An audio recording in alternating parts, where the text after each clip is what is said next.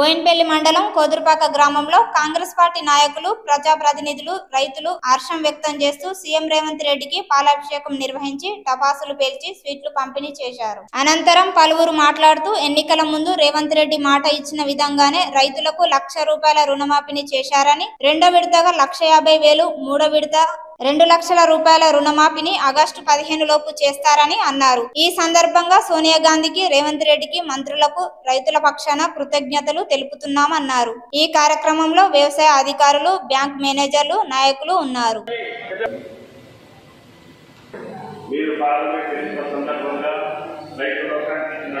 తెలంగాణ రాష్ట్ర ముఖ్యమంత్రి గౌరవ రేవంత్ రెడ్డి గారు ఈరోజు తెలంగాణ రాష్ట్రంలో రైతులకు ఒక శుభవార్త. రెండు లక్షల రుణమాఫీని ఏకకాలంగా ఏకకాలంగా చేసి భారతదేశ చరిత్రలోనే పుటలలో లిఖించదగినటువంటి విషయం.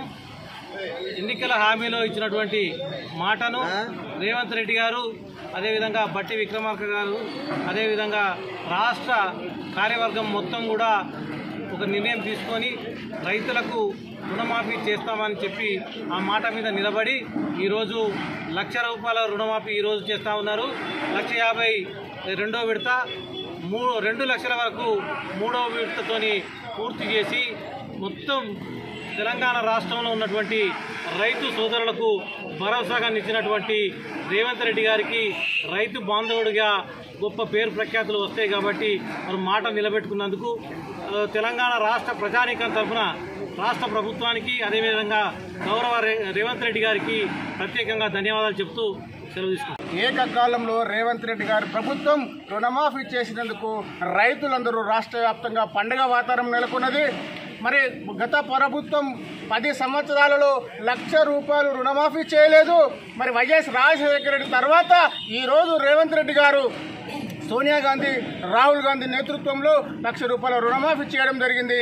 ఈ రుణమాఫీలో మరి చేసినందుకు తెలంగాణ రాష్ట్ర వ్యాప్తంగా మరి కుదురుపాక బోయినపల్లి మండల శాఖ తరఫున మరి పొన్నం ప్రభాకరణ గారికి మన ఎమ్మెల్యే మెడిపల్ సత్యవన్న గారికి విప్ ఆది సిన్న గారికి రేవంత్ రెడ్డి గారికి హృదయపూర్వక కృతజ్ఞతలు తెలియజేస్తూ ఆగస్టు పదిహేను లోపు మాట ఇచ్చిన విధంగా రెండు లక్షల రూపాయలు రుణమాఫీ చేసి నిలబెట్టుకునే ప్రభుత్వం కాంగ్రెస్ ప్రభుత్వం.